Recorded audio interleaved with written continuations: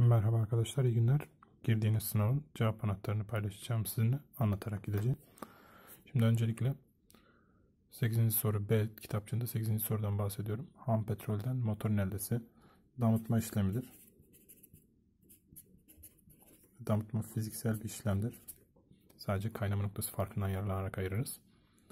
Bu yüzden kendisi kimyasal yönteme örnek değil. Sudan hidrojen ve oksijen eldesi denklemini de yazabiliriz. Şöyle H2O'dan H2 gaz ve O2 gaz elde ediyoruz. Parçalanıyor içindeki bağlar, kovalent bağlar. Bu nedenle de kendisi kimyasal bir tepkimedir. İkinci öncül bizimle. Toz şekerden pudra şeker eldesi. Bu sadece öğütme, öğütme fiziksel bir işlemdir.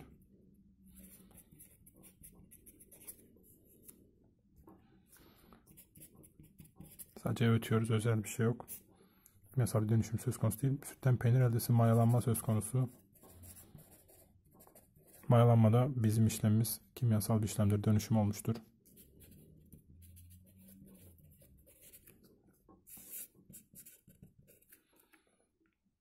Cevap Bursa olmaktadır.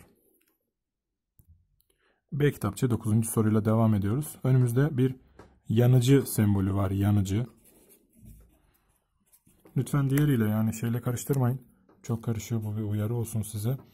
Şu beklediğiniz sembol değil. Bu oksijenin yakıcı olduğunu belli eden semboldü.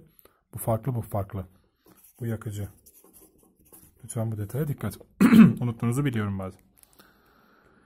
Bu görseli barındıran bir şeyden bahsediyoruz. Bu şişede neler olabilir diye, hangilerinden bahsedebiliriz diye. Açık aleve yakın tutulmaması çok mantıklı. Gayet yanıcı bir şeyden bahsediyoruz. Vücut ile temas ettirilmemelidir. Birçok yakıt vücuda da zarar verir rahatsız eder.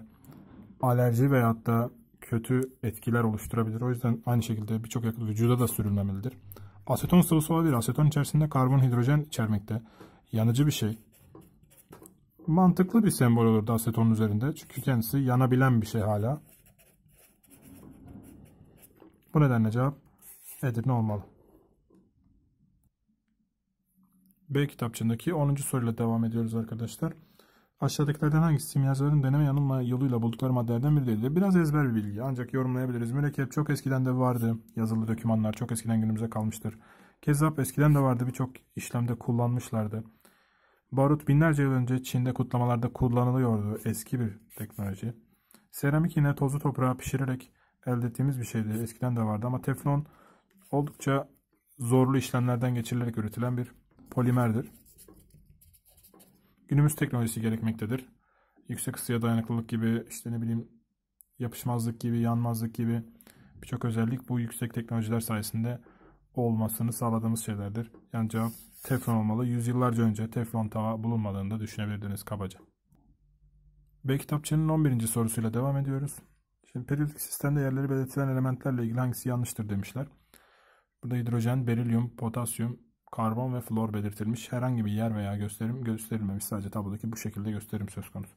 A'da hidrojen, karbon ve F yani flor ametal olarak sınıflandırılır diyor.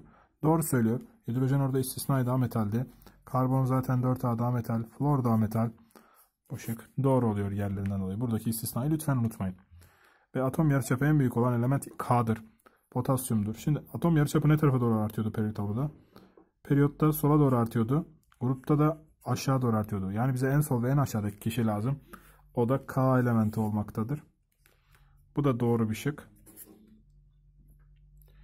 Birinci yoğunlaşma enerjisi en büyük olan element F'dir. Şimdi 3 aşağı 5 yukarı tuzağını burada görmüyorum. Yani 5 A'nın yanına 6 A koyup bize şey yapmıyor. Hani sağa doğru gidilir sadece düşüncesini yedirmeye çalışmıyor. Burada en sağda ve üstte kim varsa. Çünkü iyonlaşma enerjisi genel olarak sağ ve üstte doğru artar. Tabi 3 aşağı 5 yukarı 8 7 5 sıralamasını lütfen unutmayın onu kontrol ederek gidin. Burada öyle olmadı. En büyük olan F'dir. Doğru söylüyor. F'dir. Sağ ve en üstteki şey F şu anda. Ama 5A ve 2A'ya dikkat. Berilyum. Berilyum nerede? 2A'da. 2A'nın özel adı toprak alkali.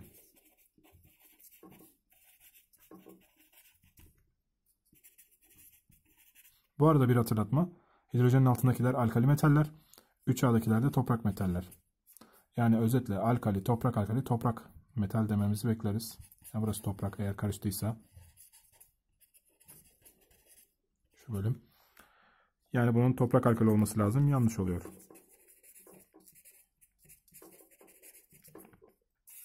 Ancak E şıkkına da bakalım. C'nin elektron ilgisi F'nin elektron ilgisinden küçüktür. Elektron ilgisi de soy gazı düşünmezsek sağ ve yukarı doğru artan bir değerdi. Florda daha sağda olduğu için karbondan elektron ilgisi de daha fazla oluyor. Bu da doğru bir önerme olmuş arkadaşlar. B kitapçının 12. sorusuyla karşınızdayım. Sodyum ile kükürt elementlerinin oluşturduğu sodyum sülfür bileşiği ile ilgili. Zaten ismini söylemiş bulunduğum sistematik isimlendirmede tek element geldiğinde, metalin yanına tek element geldiğinde ürü görebilirsiniz. Oksit dışında böyle olacaktır. Şu anda tek element geldiği için adı sülfür. Herhangi bir işte metalin yüküyle ilgili falan bir işaret koymuyoruz. Onu geçiş metallerinde yapıyorduk. Peki ben sodyumun geçiş metali mi değil mi nereden bileceğim nerede olduğunu? 281 yaparsanız arkadaşlar 1A'da olduğunu görürsünüz. Bu arada S de 2 8 6 şeklinde gösterip 6A'da olduğunu söyleyebilirim. Bu da A metal haberiniz olsun. Bu da metal. 1A'dakiler, 2A'dakiler, 3A'dakiler hidrojen hariç metalken 4, 5, 6, 7 A'da ametalleri daha çok göreceğiz. Bu doğru bir önerme.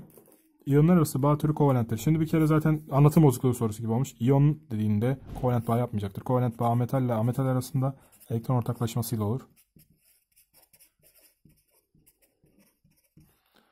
Burada ise elimizde iyonlar var. Artılar, eksiler var. Bu artı 1. Bu da eksi 2 şeklinde. Grupların numarasından ipuçlarını aldım. 6A'dakiler eksi 2 alabilir. O yüzden 2 yanlış. Lewis yapısı bu şekilde değil. Doğrusu Lewis'e dikkat son katmanımızı yorumlayacağız. Son katmandan sodyum elektron verdi. Şöyle gözükmeliydi.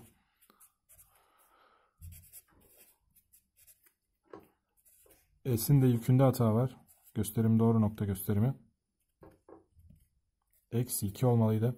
Bu bundan farklı bir şey gördüğünüz gibi. Bu detaya dikkat. Bu nedenle de üçüncü öncülü de eliyorum.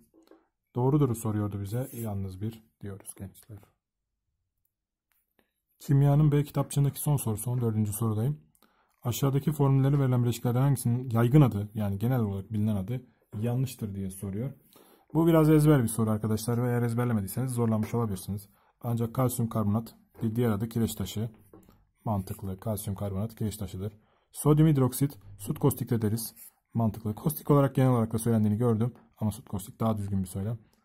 Bu gördüğünüz COH'a dikkat. Bu COH olduğunda asit oluyordu hatırlarsanız. Bu etanoik asit ya da sirke asidi, sirke ruhu, sirke dediklerinde halk arasındaki adı olmuş oluyor. NaHCO3 sodyum bikarbonat. Kendisine dikkat. Sodyum bikarbonat yemek sodasıdır arkadaşlar.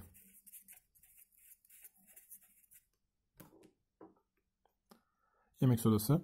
HCl ise tuz ruhu. Yanlış olan burada bilginize.